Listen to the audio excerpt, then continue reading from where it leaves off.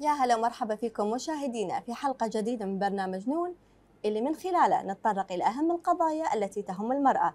خلونا نشوف هذا التقرير ونرجع لكم.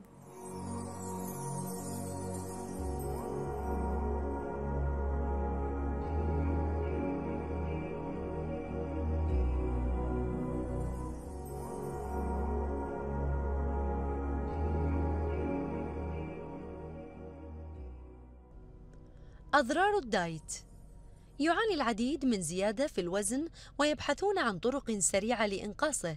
لذلك قد يلجأ بعضهم إلى اتباع الحميات القاسية مهملين جانبا مهما وهو أضرار الرجيم القاسي. ويعرف الرجيم القاسي بأنه حميات يتم التسويق لها على أنها أفضل وأسرع طريقة لخسارة الوزن. كما أن بعض هذه الحميات تعتمد على منع تناول بعض الأطعمة التي تحتوي على عناصر غذائية أساسية وضرورية للحفاظ على صحة جيدة. ومن الضروري معرفته أن للحميات القاسية العديد من الأضرار المدمرة للصحة منها إبطاء عمليات الأيض نقص العناصر الغذائية وغيرها.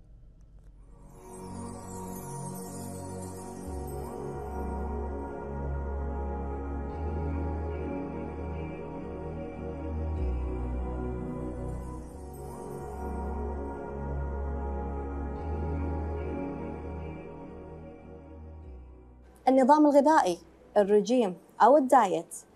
طبعا النظام الغذائي الرجيم معروف أنه نظام محدد منخفض السعرات الحرارية عشان إن إحنا نفقد وزننا أو نقلل من كتلة الجسم. ولكن هناك هوس إن إحنا آه، نقوم بهذا الدايت حتى نفقد الوزن الزائد. وممكن هذا الهوس يؤدي إن الإنسان يضر نفسه. فسرعان ما إحنا نمل من هذا النوع من النظام ونكتسب المزيد من الوزن وأيضا ناهيكم عن الأضرار التي تلحق الجسم مع هذا النظام. قال الله تعالى في كتابه الكريم في سورة البقرة: ولا تلقوا بأيديكم إلى التهلكة، صدق الله العظيم. خلونا نعرف أضرار الرجيم القاسي أو الدايت مع الأخصائية أروى التركيد، حياك الله معنا. الله يحييك مشكورة. حبيبتي حياك الله معنا في برنامج نون. مبدئيا أول شيء حابين نعرف عن أضرار أو ما هو معنى ال diet. okay ممتاز هذا أهم سؤال لأن ما راح نقدر نتكلم عن الأضرار إذا ما حددنا بالضبط شو المقصود ب diet وراح نستخدم كلمة diet لأنها قصيرة وكل من فاهمها. فهو في أكثر من نوع أنت مثل ما ذكرتي في عندك اللي يكون على أساس سعرات معينة يكون نظام الواحد قاعد يتبعه ويكون كمية الطعام محددة. إي نعم. آه، وفي عندك النوع اللي يتم فيه إقصاء أطعمة معينة فتكون محذوفة كليا. فعندك مثلا الكيتو شيل الكربوهيدرات البروتين قليلة الدهون عالية. فهذا خلينا نقول من النوع الثاني. والنوع الثالث اللي يكون على أساس التوقيت. في ناس آه، دائما تتبع النظام الخاطئ. تشوفين إنه تبي تضعف ولكن اتباعها للنظام خاطئ فتضر مم. الجسم. فإحنا شلون نقدر إن إحنا نسوي هذا النظام من غير لا نضر جسمنا؟ أوكي ممتاز. أنا من منطلقي آه، ومن خبرتي آه، كل الأنظمة تنعد خاطئة. في عندك السيء وفي عندك الاسوء تمام. في ناس تقول لك لا أنا قاعدة أتبع نظام حياة لكن ما دام هو الواحد قاعد يغير من طريقة أكله أو من كمية أكله آه، أو من ساعات أكله بدون ما يكون قاعد يحترم حكمته الداخلية بهدف إنقاص الوزن أو التحكم بالوزن وقاعد يبتعد عن وزنه الطبيعي معناته هو قاعد يضر نفسه. إي نعم. آه لأن معظم الناس قاعد نتكلم عن فوق ال 90% من اللي يسوون diet ما يسوون diet واحد. معظم الناس يتوقعون بيسوون diet واحد وبينجحون نعم. والوزن راح ينزلونه ما راح يرجع يزيد مرة ثانية. لكن مع أغلب الناس يرجع يزيد الوزن ويدخلون بهذه الدوامة اللي ممكن تظل سنين عديدة طول عمرهم أصلا وهم دائما من diet إلى دايت. وغير و... المضار طبعا. نعم. المضار اللي قاعد يسوونها بجسمهم إيه لأنه ما يكون طبيعي. اي بالضبط. والمشكلة إن هم يعتبرون انهم اللي قاعد يسوونه أفضل من لو يتركون ال diet. لكن لو هم عمرهم ما سووا diet أو لو هم يتركون ال diet ويبدون يسمعون حق جسمهم ويأكلون على أساس احتياجات جسمهم راح يكون كثير أفضل لهم من ال diet. خصوصا أو خليني اسالك أنت الحين الواحد لما يسوي diet شنو الهدف؟ يعني بشكل عام إنه يبي يصبح نحيف. okay بالضبط. النحافه ممكن يكون لاسباب صحية وممكن يكون يعني أساس إنه تزيد ثقته بنفسه صح ولا لا؟ اي طبعا. لأن جمال يعني دائما مفهوم. النحافه بالجمال اي بالضبط ف ولا واحد من هذول الأهداف الواحد يحققها عن طريق الدايت اولا الوزن غالبا راح يرجع يزيد إذا ما يكون أكثر من ما هو كان سابقا ثانيا اتباع الدايت بالعكس يخلي الواحد ما يثق بنفسه لأنه هو دائما قاعد يفشل ودائما بحس يحس إنه هو قاعد يسوي شيء غلط ويحس بالذنب ويصير في جلد الذات. فهذا يمحي أصلا الثقة بالنفس ويخليه أصلا يقارن نفسه بالآخرين أكثر مما هو لو ما قاعد يسوي diet. إي نعم. والشيء الثالث إنه هو مضر للصحة. مثل ما قلت لأن الواحد ما يسوي diet واحد لأنه يظل ي- يدخل بهذه الدوامة ويصير عنده غالبا تأرجح بالوزن جدا عالي هذا أسوأ لصحته ودراسات عديدة بينت يعني في أضرار معينة إي نعم زين أو مضاعفات خلينا نقول صحية بسبب التأرجح بالوزن اللي هي كان ما صارت لو هو ظل على وزنه حتى لو كان أعلى من خلينا نقول المقبول بالمجتمع. إنزين بس آه، قبل شوي تطرقتي إلى الوزن الطبيعي إيه. ما هو مفهوم الوزن الطبيعي بنظرك؟ okay ممتاز. الوزن الطبيعي هو الوزن اللي الشخص يكون عليه لو هو قاعد ياكل بطريقة متوازنة ويتحرك بطريقة طبيعية وعمره ما سوى diet. يعني في ناس هم قليلين جدا لكن في ناس عمرهم ما سووا diet. اي سبحان الله طبيعة الجسم اي هم ما سووا diet لاسباب عديدة راح تلاقين إنه هو عنده وزنه الطبيعي. تمام الشخص اللي يترك ال diet بسرعة حتى لو هو سوى diet لكن بسرعة ترك ال diet يعني سحب نفسه بسرعة وبدأ يأكل بطريقه طبيعية راح يكون قريب من وزنه الطبيعي. أي نعم لكن للأسف شنو يصير؟ إن الواحد مع كثرة الدايت وزنه الطبيعي شوي شوي يزيد. فهو الوزن الطبيعي هو اللي عادة الواحد يرجع له بعد ما يسوي دايت. والوزن هذا كثير سهل إنه يحافظ عليه. زين يعني لدرجة إنه يعني علشان يزيد عن هذا الوزن يعني لازم يبذل مجهود كبير يعني يكون في إفراط بالطعام مدة طويلة عشان يزيد عن هذا الوزن. أي نعم. فهو الوزن هذا اللي الجسم يحب يحافظ عليه. لكن شنو يصير مع تكرار الدايت عملية الأيض تبدي تنزل. خصوصا إن كل مرة الواحد ينزل وزنه جزء من الوزن اللي ينزل دهون وجزء منه عضلات. أي نعم. لكن لما يرجع يزيد نسبة الدهون أكثر من العضل. مرة العضل، على مرة صح. على مرة نسبة العضل تقل ونسبة الدهون تزيد وكل يعرف أن العضل يحرق أكثر من نعم. الدهون فمع الوقت عملية الأيض تصير جدا أقل بطيئة. يعني ممكن شخص نفترض طول عمره يسوي diet صار له مثلا نقول 20 سنة يسوي diet ووزنه 80 المفترض اللي وزنه 80 ياكل أكثر من اللي وزنه مثلا 60 عشان يحافظ على وزنه لأنه هو وزنه أعلى بس لا ممكن يحتاج ياكل أقل من اللي وزنه 60 اللي عمره ما سوى diet بسبب كل. السنين اللي يسوي فيها diet واللي يعني محزن إن الوحدة مثلا بدأت diet كان وزنها 80 وبعدين مع بعد يعني مرور كل السنين وهي عندها تأرجح بالوزن تسوي من diet ل diet تصير فوق ال 100 مهم. تقول أتمنى وأنا قايلين لي يعني عملائي أتمنى كنت أرجع راضية. بنفسي لما كنت 80 كنت حالاتي كنت زينة بس كنت إلا إلا بنزل والحين شوف وين أنا صرت إنزين شنو سبب فشل الدايت؟ يعني أغلب الناس يمكن نادر جدا ما نشوف واحد سوى دايت أو رجيم. وكان راضي عن نفسه، الأغلبية مثل ما قلتي يكون لا يعني يصير هوس صح. والهوس هذا يا إنه يصيب ولا أو يخيب ولكن الأغلب يخيب،. لكن قبل آخذ منك الإجابة أبطلع مع مشاهديني فاصل ونرجع من بعده.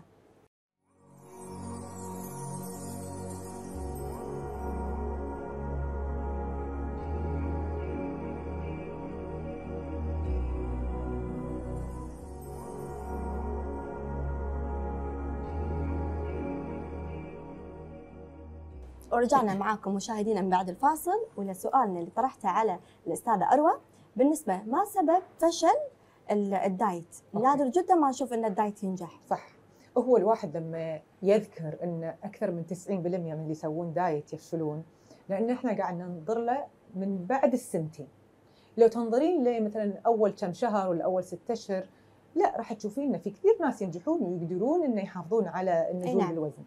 لكن من بعد مثلا لما تعدى السنة تعدى السنتين تلاقين ان معظم الناس يرجع يزيد وزنهم.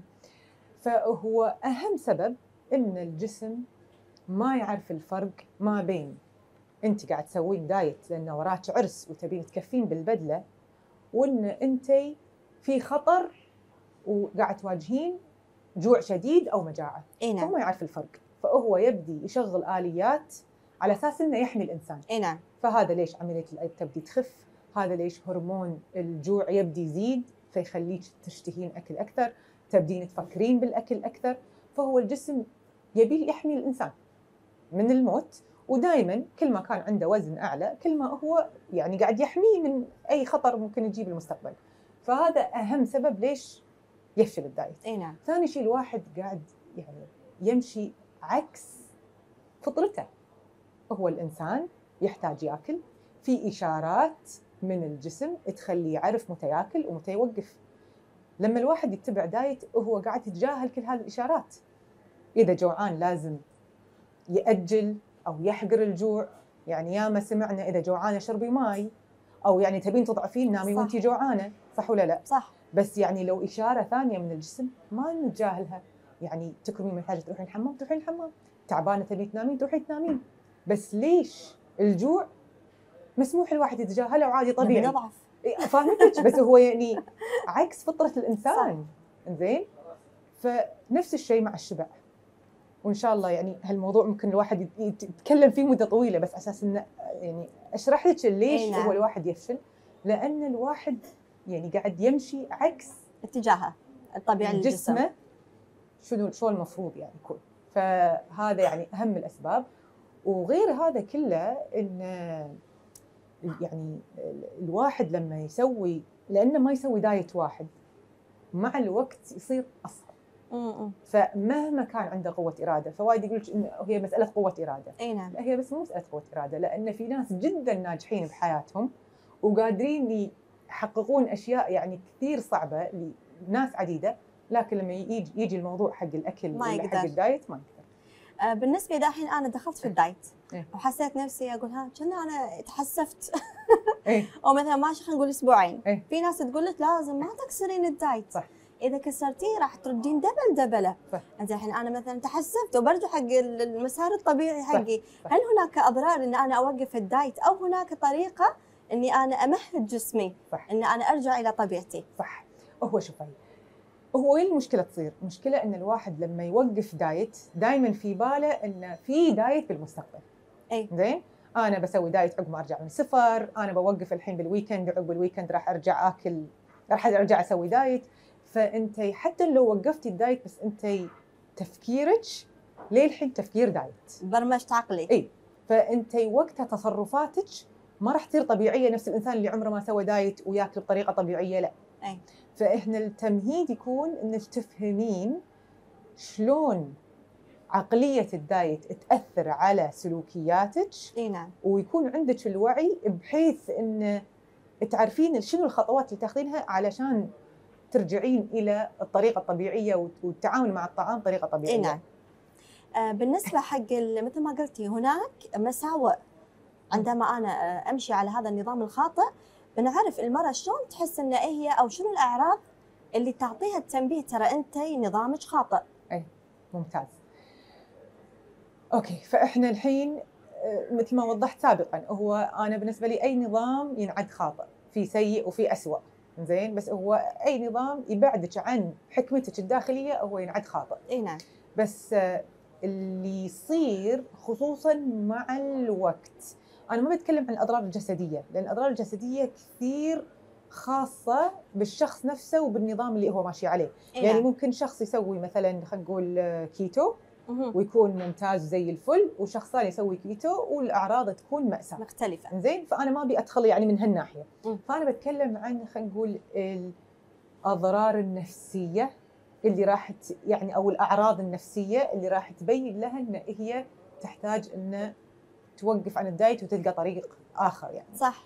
فهو أول شيء إن الوزن هو اللي آه، على أساسه بتكون سعيدة بتكون حزينة رقم على الميزان هو رضا النفس يعني. يأثر على سعادتها ومزاجها بهذا اليوم. رضاها عن نفسها اي رضاها عن نفسها مزاجها إلى آخره ثقتها بنفسها يعني هي ممكن مثلا تشوف نفسها بالمنظرة وتكون تمام بعدين تقيس وزنها تلقى صاعده كيلو فجاه تشوف روحها إن هي تشو- تشوف روحها ما هي ما تغيرت هي بس انها شافت, الرقم الرقم. الميزان نظرتها تتغير أثرت. إي، تتغير كليا فهذا أول شيء من ناحية يعني ان إن الربط ما بين الوزن وقيمتها. زين هذا أحد يعني خلينا نقول ال- الأعراض اللي الواحد يعني يحتاج إنه ينتبه منها الشيء الثاني التفكير بالأكل يكون زيادة عن اللزوم. يعني مو تفكر بالأكل لما هي تبدي تيوع ولا قاعد تخطط حق شنو تاكل لا هو دائما دائما في بالها. يصير مثلا صعب عليها تاكل مع الناس يعني تفضل حاتي. إي إي يعني يا تحس مثلا إنهم قاعد يراقبون أكلها أو إن هي مثلا فيها خجل من طريقة أكلها فتفضل انها تاكل بروحها. يكون عندها نوعا ما هوس بالرياضة ممكن يبدي معاها مو بس من ناحية الأكل فممكن انه ما تش- تشعر ان هي ما تستحق تاكل إلا إذا هي حرقت مثلا الأكل اللي هي ماكلته ومثل ما يعني كونها مثلا تقيس وزنها أكثر من مرة باليوم إذا صار هني اتجاهها نفسي أكثر ما إنه هو إي، جسدي 100% 100%. فتأثرت يعني حتى تحس نفسها تنعزل لأن مثل ما تقولين ما في ثقة في النفس إي. وهم يعني في اللي آه، يكون في أعراض جسدية سلبية بس يكون بالنسبة لهم مو مهم يعني اهم شيء أوصل لهدفي. إي أهم شيء اهم شيء أوصل لهدفي بالضبط. آه، بالنسبة حق ال- ال- الأهداف ال- ال- الجسدية إحنا شلون نقدر ان إحنا نوازن أو نعرف إن هذا الهدف الصحيح من الهدف الخاطئ إن هذا النظام الصحي من النظام الخاطئ. يعني أنت. مثل ما قلتي تو راح تشوف وزنها وتراقب. آه ولكن في هناك أغذية صحية أيضا تأثر في في آه، وزن الإنسان أو كتلته. صح. فهو الواحد يعني هذا الشيء الغريب اللي يصير ان نتوقع ان لما نترك الدايت إن أنا راح أنفجر على كل الأكل اللي كنت أمنع نفسي منه إيه نعم. وهذا ممكن يصير أولها لكن إذا الواحد تصالح مع جميع الأطعمة. وفعلا اتخذ القرار إنه هو عمره ما راح يرجع يحرم نفسه مرة ثانية راح يقدر ياكل بطريقة متوازنة. راح يفهم حق جسمه ويعطيه شنو هو يحتاج لأن المشكلة مع ال diet إنك أنت طول المدة قاعدة تخليه المؤثرات الخارجية هي تقرر شنو أنت تاكلين نعم. متى تاكلين مكمله تاكلينها. بس لما تتخلصين من ال diet حكمتك الداخلية يصير صوتها أعلى. ووقتها تقدرين تاكلين بالطريقة اللي أفضل لصحتك خصوصا على المدى الطويل. آه في أمور أنا حابة أسألك عنها بالنسبة حق على قولتهم ال- الصوت الداخلي للإنسان. ونداء حق نفسه. لكن خلينا نطلع هذا الفاصل ونرجع من بعده.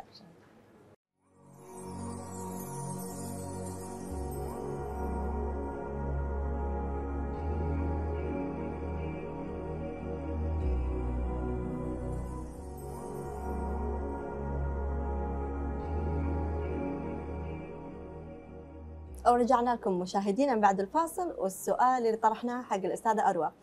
الصوت أو النداء الداخلي. لما الإنسان يقولون فعلا هل هي نظرية أو ما أدري فعلا حقيقية أو هي خيالية.